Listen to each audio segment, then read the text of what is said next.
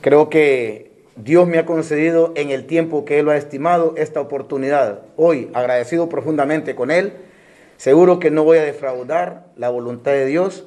En el Club Deportivo Vida hoy presentaron el nuevo director técnico al profesor Raúl Cáceres para dirigir al club. Lo primero que se me ha pedido es ordenar esta institución, eh, hacer un análisis y buscar la clasificación, que tenemos que lucharla. Lo segundo es lo que yo pedí hacia ellos, y es que me respaldaran con el cuerpo técnico. Yo pienso que ya ellos cumplieron, ahora me toca cumplir a mí. Ahora, además ha venido, porque mucha gente dice, bueno, viene el profe a apagar el fuego, ¿no? Eh, por esta jornada y ver si se clasifica la liga. Viene también para un próximo torneo.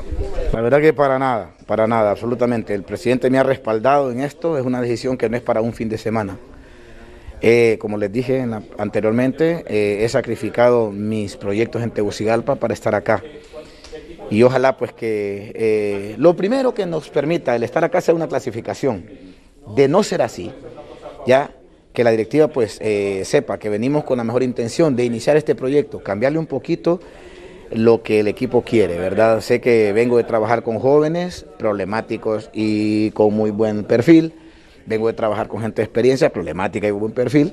Ojalá pues que nos ajuste, ¿verdad? Para que nosotros pues podamos llenar la expectativa que hoy en día espera el aficionado de vida y la de junta directiva. Para el director técnico del Club Deportivo Victoria, el doctor Salomón Nazar, no se ha logrado el objetivo. Resta Motagua y se buscará clasificar. Bueno, la, la verdad que todos han sido partidos complicados después de que el equipo experimentó un mal momento. Este, han levantado su nivel, pero Igual, este, no tenemos la clasificación todavía, el partido del sábado contra Motagua sabemos que va a ser difícil, porque Motagua viene también por su segundo lugar, ¿verdad? Y eh, no, nos, no nos podemos confiar.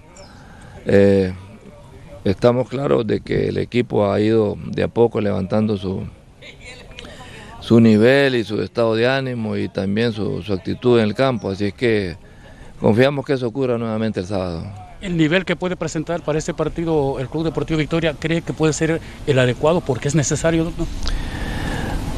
hemos hablado con el grupo y este, hemos gestionado permanentemente el hecho de que no podemos confiarnos, ¿verdad?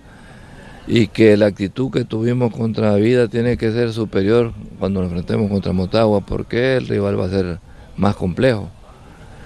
Eh, yo tengo la, certeza de que el equipo va, va a sumar y, y vamos a conseguir este,